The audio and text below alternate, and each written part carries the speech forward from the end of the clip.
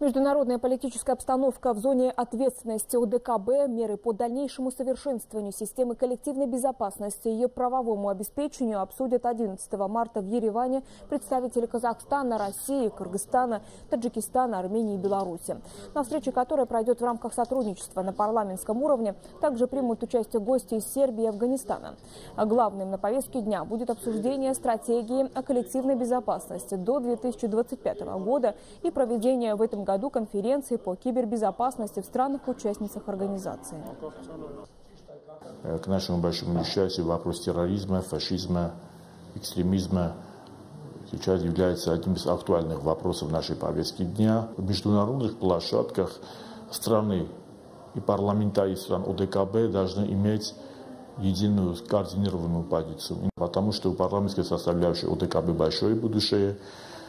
Сегодня в этом мире, в глобальном мире, где есть очень много угроз, мы должны быть вместе. В период председательствования Армении до 2017 года мы хотим сделать так, чтобы совместными усилиями, усилиями всех стран ОДКБ, роль парламентской составляющей ОДКБ повысилась.